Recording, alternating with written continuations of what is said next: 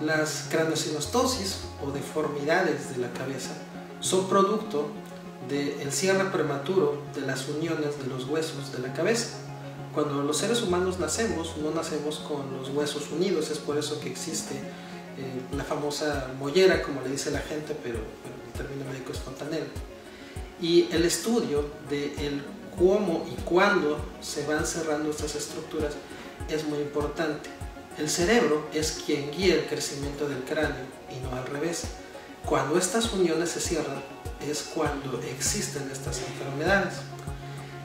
En sí, no se trata de una enfermedad que sea de tipo estético, ni tampoco se corrige con la edad, que es algo erróneo y que muchas este, veces puede ser causa de retraso para poder eh, hacer algo y llevar un tratamiento adecuado.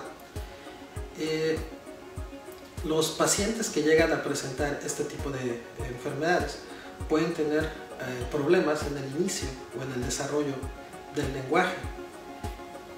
Si tú tienes un hijo o conoces a algún niño pequeño que tenga alguna deformidad de la cabeza, es muy importante que le recomiendas que acuda con un especialista como es el neurocirujano, especialista en niños, para que sea adecuadamente atendido y decirle que no es algo que se vea bien o mal, sino requiere de atención para que el cerebro tenga espacio para crecer y ese niño pueda desarrollar todas sus potencialidades.